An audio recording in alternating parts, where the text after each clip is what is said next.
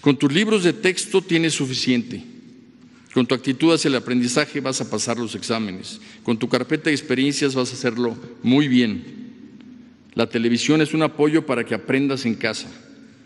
También habrá radio educativo para comunidades indígenas, cuadernillos de CONAFE para zonas marginadas y para quienes tengan conectividad Internet.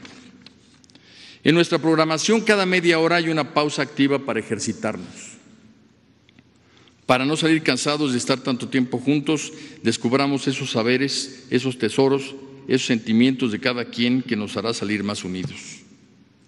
Vamos a practicar en casa la solidaridad y la cultura de respeto y paz. También los adultos aprenden. Hoy mismo a las 11 de la mañana habrá una capacitación a distancia en donde voluntariamente ya están inscritos más de 500 mil maestras y maestros.